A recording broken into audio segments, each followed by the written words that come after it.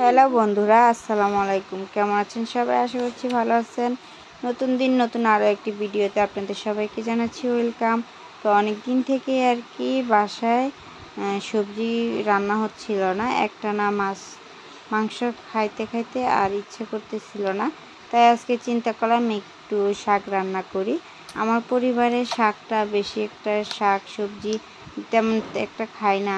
আমি যে, যদিও পছন্দ করি আমার হাজব্যান্ড এগুলো তেমন একটা পছন্দ করে না। তার পছন্দ হইতেছে পেঁয়াজ দিয়া ভুনা, তারপরে ডিম দিয়ে পেঁয়াজ দিয়ে ভুনা করবে। ভুনা টাইপের জিনিসগুলোই অনেক পছন্দ করে সে।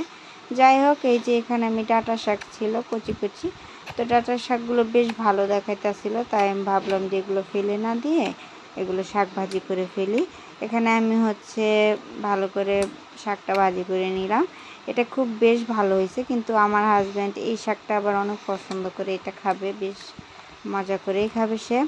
তারপরে আজকে একটু রুচি ফিরে আনার জন্য রসুনের ভর্তা করব। কে কে আপনারা রসুনের ভর্তা খেয়েছেন আমি জানি, অনেকেই খেয়েছেন কারণ এটা নতুন না, এটা অনেক আগেই বের হয়েছে। আসলে এই ভর্তাটা খাইতে এত মজা, তো বাসায় যারা এখনও খান নাই একবার হলো ট্রাই করবেন। আমি এখানে রসুনের অনেকগুলো কোয়া নিয়ে নিচ্ছি পরিমাণ মতো।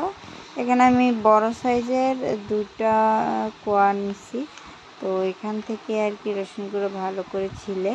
এখন আমি একটু তেল দিয়ে দিলাম। তেলের ভিতরে পেঁয়াজ দিয়ে দিছি আর সাথে হচ্ছে রসুনগুলো দিয়ে ভালো করে একটু নেড়ে নিব। তারপরে দিব হচ্ছে, আমি যেহেতু এটা শুকনো মরিচ দিয়ে বানাবো, তাই কাঁচামরিচ আর দিব না। শুকনো মরিচ দিয়ে বানালেই বেশি ভালো লাগবে। এখন আমি একটু ঢেকে দিচ্ছি রসুনটা, এমনিতেই সিদ্ধ হয়ে যাবে কিছুক্ষণ পরে। তারপরে এই যে আমি রসুন দিয়ে দিলাম, সাথে যেহেতু আমি এটা পাটায় বাটবো, তাই আর ব্লান্ডার করলে বেশ একটা ভালো লাগবে না। তো চেষ্টা করবেন পাটায় বেটে খাওয়ার। ভর্তা এই টাইপের জিনিসগুলো পাটাতেই ভালো লাগে। আর ব্লেন্ডার করলে আসলে পাটার যে স্বাদ, পাটায় বাটা ভর্তার ওই স্বাদটাই থাকে না। তো আমি এখানে ভালো করে ভেজে নিতেছি। আর এই মরিচগুলো হইতেছে কারেন্ট মরিচ তো ঝাল মরিচগুলো অনেক, তাই এখানে একটু বেশ কম করে নিচ্ছি। এই ভর্তাটা একদম খাইতে অনেক মজা লাগে। আমার এই পাশটাতে হয়ে যাচ্ছে, আর এখানে আমি পাটাটা ধুয়ে তারপরে রাখলাম। রাখার পরে তো এখন আমি হচ্ছে আমার এগুলো সব দিয়ে বাটাবাটি করব। সব একসাথে দিয়ে দিতেছি। আর আমি বুটাটাও দেখি ফেলে নিব, মরিচের বুটা। তো আমি আবার একটু ঘরে গেছিলাম, ঘরে যাওয়াতে হালকা একটু অনেক পেঁয়াজ, একটু কালসা হয়ে গেছিল।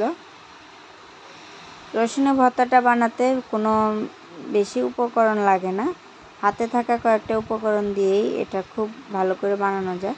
আমি এখন মরিচের বোটাগুলো একদম ফেলে দিচ্ছি।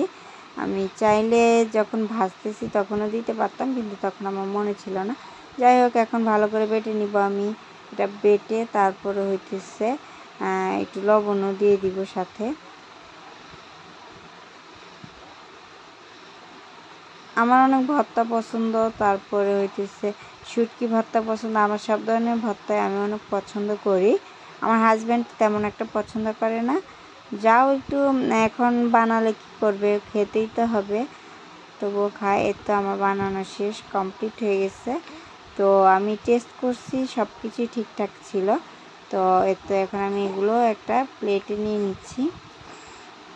রাতে খাব, খাওয়ার পরে যা থাকবে এগুলো আবার ফ্রিজে রেখে দিব নর্মাল ফ্রিজে তো আবার যখন আর কি খাইতে ইচ্ছে করবে, তখন নিয়ে খাব।